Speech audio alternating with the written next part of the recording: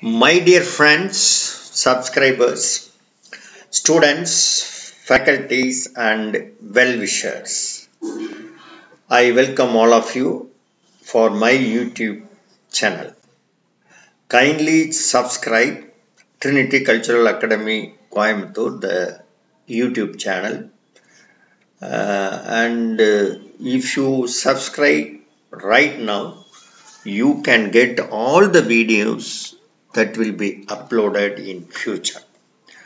And uh, the topic of interest is conventional farming and the alternate land use in dryland agriculture. And uh, this is the topic which I am going to discuss now.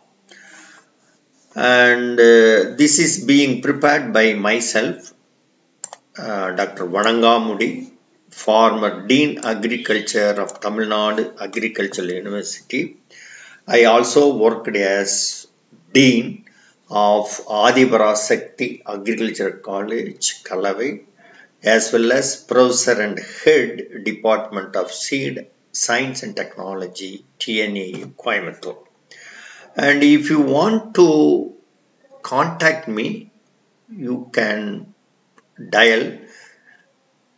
You can reach me at 9894904745 and I am also having email. This is my email ID and also website. Kindly visit my website. And you can all the informations will be available in the website. And this is the YouTube link and you can use this link for getting the material what I am posting. I have posted so far in the YouTube. So far I have posted nearly 200 videos and dealing with the agriculture horticulture and general studies. Coming to the actual topic the conventional farming and alternate land use in dry land farming. Again, uh, the topic is pertaining to dry land farming. What do you mean by conventional farming? This is uh, refers to the use of synthetic chemical fertilizers, pesticides, herbicide, and other continual inputs, genetically modified organism that is GM crops, heavy irrigation, intensive tillage and concentrated monoculture production. This is more important, monoculture. Highly resource and energy intensive but also highly productive. This conventional farming is highly productive. Conventional farming typically involves monocropping. I am repeating again, but it is very expensive the second, uh, the topic is uh, the alternate land use in dry land farming and this refers to use of alternative production system in lands to achieve more sustainable biological and economic productivity on long-term basis. And the classical example for alternate land use in dryland agriculture is agroforestry systems. And uh, this um, alternate land use pattern is followed in dryland to cope up increasing population of both human as well as livestock and raising the demand for fodder, food and fiber a diversified land use system need to be adopted as an alternative to conventional cropping system where the monocropping is the major component. Though this approach, the biological productivity and quality of resource-based degraded system ecosystem can be significantly enhanced. And if you look into the different agroforestry system, and this agroforestry system is to have land use system in which woody perennials especially the trees shrubs palms and bamboos are deliberately grown in association with the herbaceous plants like crops and pastures crops includes agriculture crops as well as horticulture crops or livestock in a spatial arrangement or a rotation or both. And uh, what is the what are all the different uh, systems the agroforestry system? We can see one by one. And these are all more important for the examination point of view. The first one is agri silviculture system. Here the growing of trees in and agriculture crops in association with the agriculture crops. The second system is alley cropping.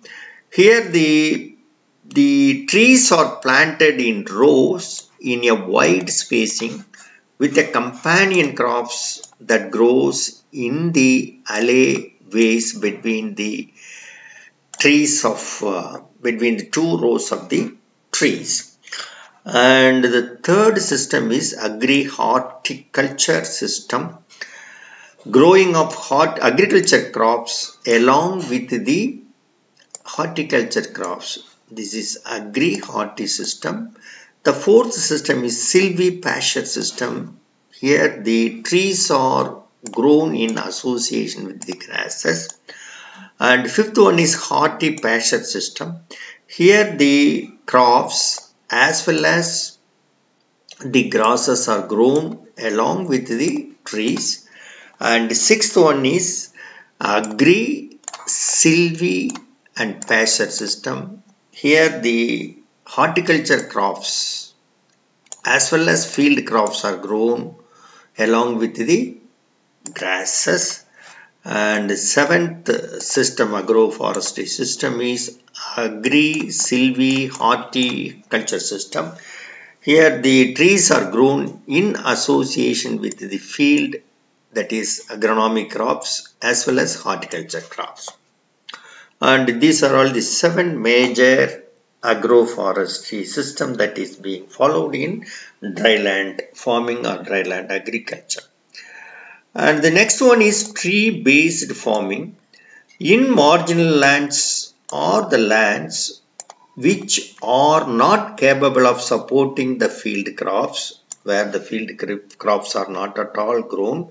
And this can be converted into tree based farming. And here the live fence rows can also be grown in the dryland farming. And the the legume species like Leucaena leucocephala and Sesbania grandiflora and these two legumes are grown in wetlands and Zizyphus, Hibiscus, Gliricidia species are grown in dry areas. And uh, these are the main sources of human food as well as animal feed which gives approximately 6% leaf protein to the animals. And the economic trees such as mango and kapok are grown in this uh, live fence system. And this is more useful for controlling the erosion as well as to separate the field for demarcation. And the next one is trees as hedges. And some of the trees are grown as live hedges by the farmers and the next uh, topic is uh, for discussion is the slope agriculture land technology growing seasonal as well as perennial crops of N fixing trees nitrogen fixing trees in 3 meter to 5 meter wide bands between contour rows and the N fixing trees are thickly planted in double rows to make hedge rows.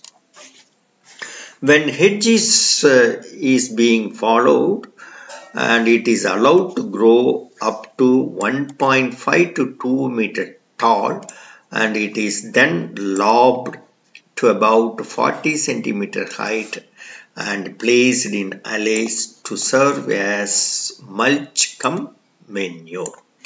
The trees used for hedges are being tabulated in this uh, table. Uh, the first column is common name, the second column is scientific name and third column the uses. And the first tree is Molucca bean, Caesalpinia crista, scientific name. It reduces soil erosion then coral tree, Erythrina variegata and it is non-browsable that is not being browsed by the animals and it is used for conserving soil as well as water. Thor, Euphorbia species, non-browsable again, having the medicinal value. Jatropha, Jatropha curcas is the scientific name.